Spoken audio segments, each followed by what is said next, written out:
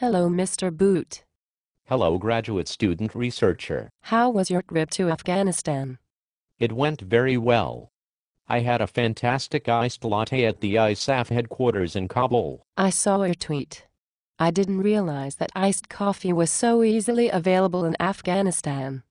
It is quite common, in my experience, along with soft serve ice cream. It must be dangerous there. Yes, I gained 10 pounds. Ha ha ha ha. Max, you are so funny. And brave. Well, it's true that I was out on the streets of Kabul. You were walking around? No, it was in an armored SUV on the drive to the airport. But I saw many ordinary Afghans. How did they look?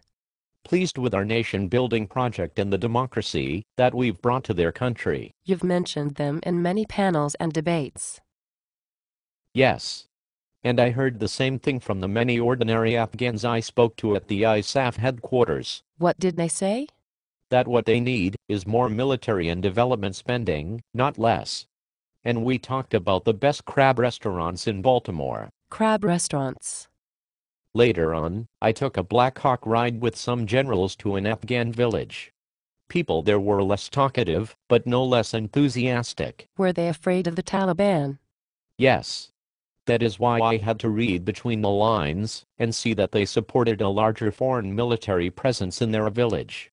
The surge is just getting started, so we need to win their hearts and minds with a population-centric counterinsurgency strategy. But Max, some people have been saying that we have surged money and soldiers into Afghanistan since 2006 and that we are therefore pursuing a demonstrably failed strategy, one that is inflaming the root causes of the violence, fueling corruption, and destabilizing Afghanistan's conflict economy.